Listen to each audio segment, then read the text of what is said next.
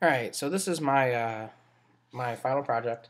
Um, I made a basically a command generator for uh, CF. Uh, it's a DD tool that allows us to carve files. So I open it up here.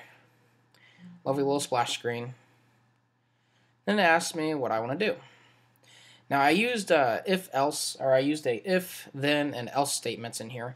That so if you choose this one, because it will not work, it removes the hashtag. So there is an if statement in here um, I can go ahead and click on DCFLDD, which makes it show back up.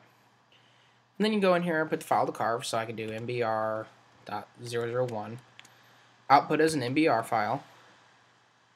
Let me choose my block size, uh, skip 0, count 1, uh, and then we'd hash it, you know, so we have the hash value.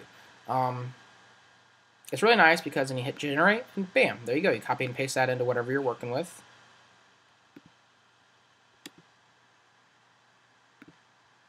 And you go along your way. Generated everything correctly. Um, really have a lot more plans for this application, but this is kind of the basis of what I needed done now. Um, and you know, you can go back here and change, you know, if you decide you don't want this, and you can just do DD, bam, there you go.